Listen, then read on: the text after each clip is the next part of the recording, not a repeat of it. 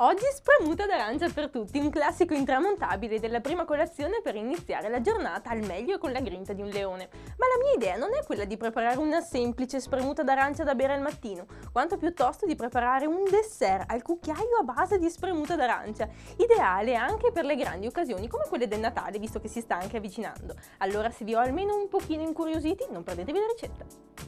Per preparare la spremuta d'arancia al cucchiaio abbiamo bisogno di 400 ml circa di spremuta d'arancia, circa 4 o 5 arance, succo di un limone, 20 g di zucchero, 6 g di colla di pesce, 200 g di panna fresca, 10 g di cacao amaro in polvere, un pizzico di cannella, 20 g di zucchero a velo.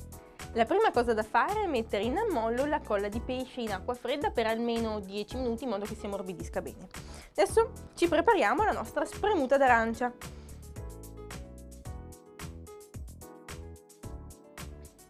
Abbiamo così ottenuto 400 ml di succo d'arancio, potete filtrarlo come no, come preferite. Adesso ci spostiamo su un pentolino, spremiamo il succo di un limone poi andiamo a sciogliere i fogli di gelatina che ho ben strizzato dall'acqua di ammollo. Una volta che il succo è caldo possiamo unire, come vi dicevo prima, la gelatina che si scioglierà all'istante e poi aggiungiamo anche lo zucchero. Questo è facoltativo, dipende anche dalla dolcezza che hanno le vostre arance e dalla dolcezza anche che volete dare al dolce. Mescoliamo, non serve il raggiungimento dell'ebollizione, basta insomma che la gelatina si sciolga bene spegniamo e andiamo ad unire questo succo alla caraffa di succo d'arancia.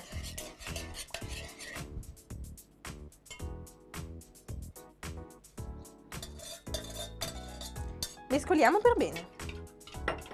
Ora qui ho preparato dei bicchieri, potete prendere anche delle tazzine oppure degli altri contenitori e vado a riempirli con la spremuta d'arancia, che al momento sarà ancora liquida ovviamente.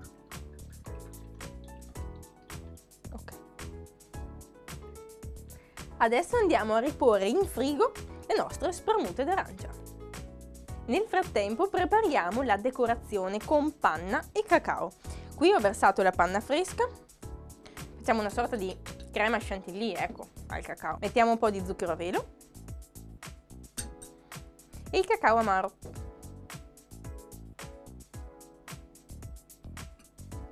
Un pizzichino di cannella poi montiamo a neve.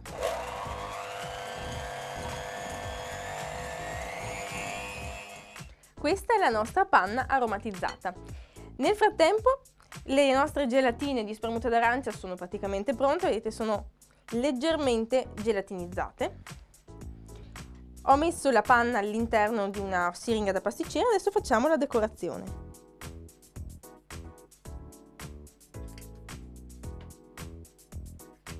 Ora decoriamo con un po' di cacao amaro, un po' di cannella, poca, non troppa, e poi qualche scorzetta d'arancia. Con questo dessert elegante e raffinato potrete godere di vitamine e sali minerali anche dopo il pasto, con una marcia in più resa dalla decorazione delicata con la panna. E se volete rendere il vostro dessert ancora più leggero, sostituite la panna con la ricotta.